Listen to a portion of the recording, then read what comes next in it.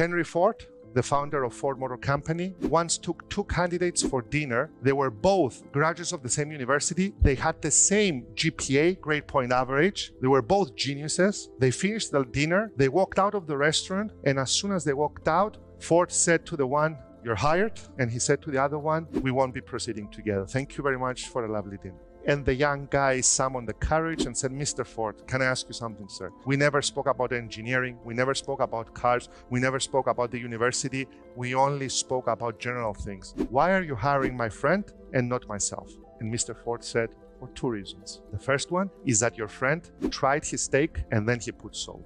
You put salt and then you tried your steak. I like people who try things before they make changes. And the second and most important reason of them all, your friend was polite with all the waiters saying thank you and please. They were invisible for you, all the waiters. You only were polite when you were addressing me. So a great leader, somebody you want to impact your organization, doesn't have to see hierarchy. He has to see human beings.